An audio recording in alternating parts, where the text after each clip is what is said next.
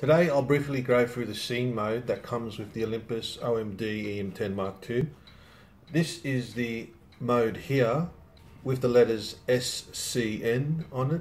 It's basically an extension of the uh, iAuto mode, uh, but it's tailored for different scenarios according to the subject of the photo.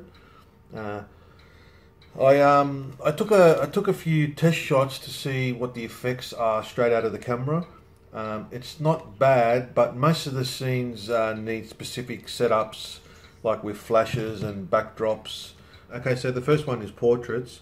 Um, so what the camera tries to do is it picks the it tries to pick the lowest aperture to get the best blurry background.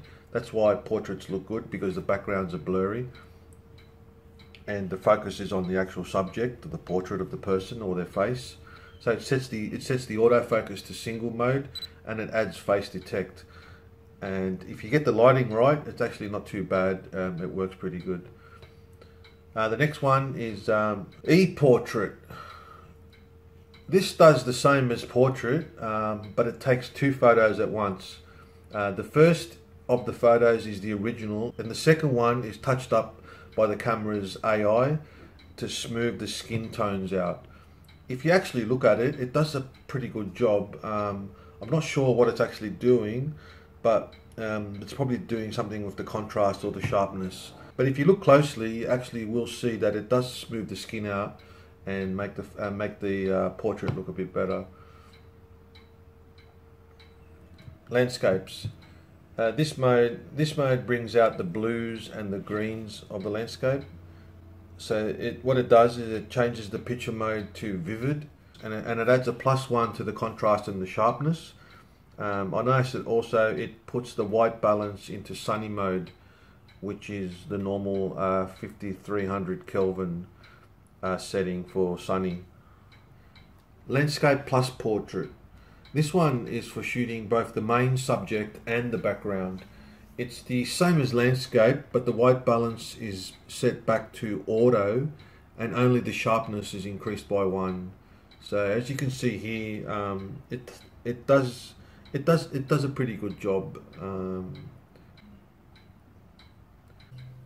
sports, as the name says, uh, this one is when you want to capture fast action without blurring.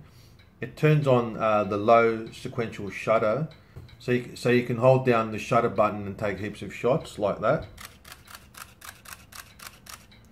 and that and that makes it so you can capture like the winning moment in the in the in the soccer game or whatever. Um, to hook with that, it also turns on continuous auto focusing, um, and it also puts on face detect. So it's trying to help you take. It's trying to it's trying to do all the. It's trying to let you just concentrate on the action while it does all the work um, to capture that fast action in the sports game. But don't um, expect miracles with continuous autofocus because I've been mucking around with it and um, I've read a lot online as well that the EM10 range of cameras, the continuous autofocus is uh, not the best. Handheld Starlight. Uh, this reduces the blur when shooting in low light and illuminating scenes like uh, city city nightlife uh, scenes. So what this does is it takes eight frames sequentially with just one press of the button and then they're combined into one photo. So if I just take a photo now, you'll see I just pressed it once and it just took eight shots straight in a row. Um, I didn't have to hold the button down or anything. And then I, and then what it does is it combines them into one photo. I guess what it's doing is uh, stacking them to give better dynamic range. Uh, I noticed also it drops um, one third of a stop of the exposure compensation and it reduces the contrast and the sharpness. Uh, night scene, uh, much the same as uh, the handheld Starlight one, but it only takes one shot. Um, it tries to use the lowest uh, shutter speed it can, so it's, it's, it's, so it's best to so it's best to use a, a tripod with this one night plus portrait. So this one is this is for shooting the main subject plus the background at night. you have to you pop up the flash for that for this one and um, what it does is it sets it to fill in so the flash will always go off and it also turns on the red eye reduction feature and for some reason it sets the white balance to sunny so you see that it does the fill in and it also does the red eye. Uh, children. Uh, photographing children. Now this one's pretty much the same as sports like I said before. Um, and what it is is to freeze um, the kids when they run around. Uh, that's pretty much all that one does. Uh, I think it's, it's exactly the same as sports. High key this enhances the bright areas to give that special high key type white balanced look that you see in like magazines and stuff. You really need to set up the scene to get the this effect right. Uh, what I did was I um, I used my softbox and I put the subject behind that to get that white background. Uh, that's a, a, a, nice easy cheat that you can use. Um, but you really need a flash um, and as you can see by my dodgy attempt here um, you need a heap of uh, post processing as well to get that feature. So I think what I'll do with this one is I'll I'll revisit this one and make a dedicated video for that. So when I was taking the portraits and the high key photos mainly the high key photos to get a white backdrop I just used these uh, soft boxes. I actually found these soft boxes on the side of a road. Someone was chucking them out. So um, and so I show you um, if you turn it on um, so if you if you turn it on you get that like that white the white background. And that's a that's an, uh, an easy cheap way of just getting a, a that's a really uh, easy uh, no fuss way of getting a, a white background. Um, and what you do is you obviously zoom in so you can put that in portrait mode uh, or whatever and you can uh, zoom in so that the rest of the scene is out of is out and then you just get that white background. I mean it's really only good for uh, headshots really. So that's just uh, one quick way that I did it. Low key um, I tried this yeah as you can see I tried this a few times um, and I wasn't very good at it. Um, like I said you, you need to set things up. A, a simple press of the button on a setting isn't going to give you exactly um, what you need. I mean, I tried to use a uh, torch. I mean, I'll need to study this one a bit more as well. Uh, surprisingly, though, um, I took a photo of my dog in the black car and I didn't know that setting was on. And it actually turns out pretty good using that setting with a darkness, with a dark backdrop um, and the subject in the middle. So, uh, DIS mode. So what this stands for is uh, digital image stabilization. Basically, this one makes sure that your image stabilization is turned on for one thing, and the ISO is bumped up. So that means that then your shutter speed needs to be high to uh, to balance the light. So what that does is to stop the shaky hands. So um, you'd be surprised. Um, a lot of shots are out of focus or blurry because even though you think that you, your hands aren't shaking, they are shaking. So the the actually the IBIS they call in body image stabilization. Olympus actually has the best in the has has the best in the world.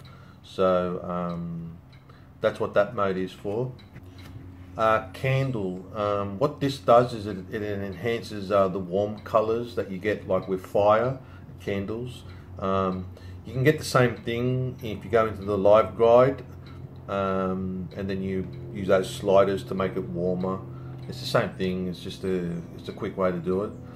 Sunset, uh, it's very similar. Um, it's, also and also very similar to landscaping, but instead of bringing the green and the blues up, it brings the reds and the oranges uh, up. So, as in like a sunset, so the sun and uh, I noticed that also it drops the exposure compensation considerably by two thirds of a stop.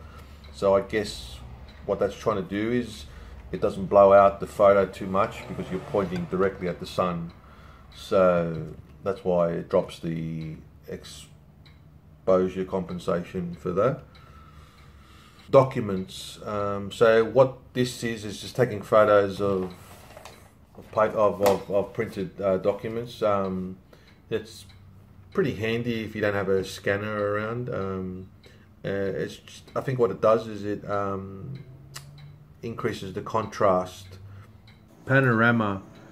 This uh, scene brings up a guide on the live view and in the EVF also.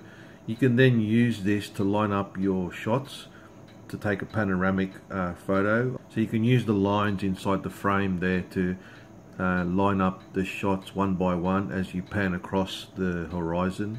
You can take up to 10 shots and it'll actually number them for you until you press the menu button and then it'll stop numbering the shots.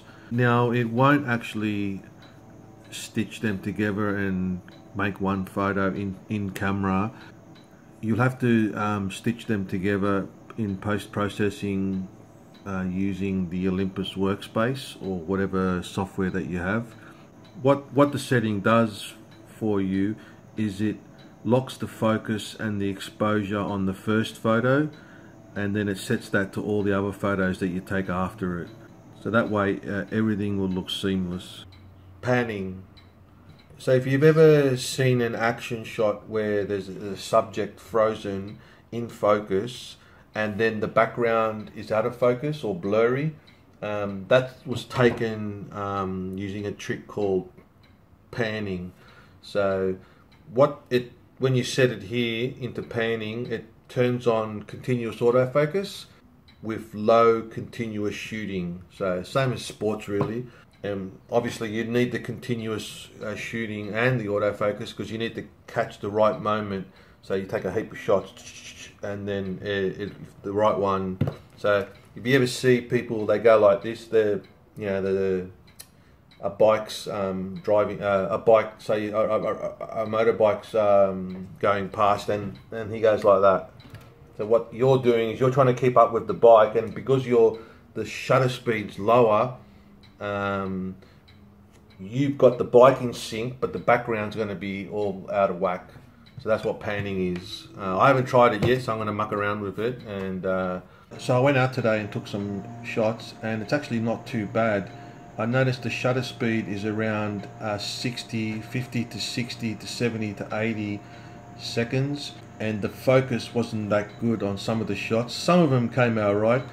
Uh, for the first go, it wasn't that hard actually. Um, the cars weren't going that fast. On the panning setting, it sets it around 50 or 60 seconds and the I think that what let me down is the manual autofocus but other than that it's actually not too bad and so and the the rest the rest of the settings are uh, uh, like a fisheye, wide angle, macro, and 3D photos. Now, for that, you're all going to need some uh, special lenses that go with that, uh, except for macro, which can be done using extension tubes. So these things here, so I'll, I'll, have a video on how to do that as well. And that's the cheap way of, of, um, of doing macro without buying like a $500 macro lens uh, or the, the adapter on top, which I still think is like 150 bucks just for the uh, macro um, lens that goes on the top of the of your normal lens. So that's it. So try them out. Um, don't expect miracles, like I said, with these settings, um, but they are a quick and an easy way to shoot basic shots of a particular scene in mind. I, I, I've been using it for a few weeks now. Just uh, I found it as a great way uh, to get me out and start experimenting and, and shooting and working on my composition uh, rather than worrying about all the settings and the manual and, you know it's a good way to you know, to to fl- uh, to use the uh, auto features just to get you out there and, and start shooting and um, and learning the camera um, without worrying about shutter speed, aperture, etc. ISO. Um, that's it. Uh, next video. I'll see you then.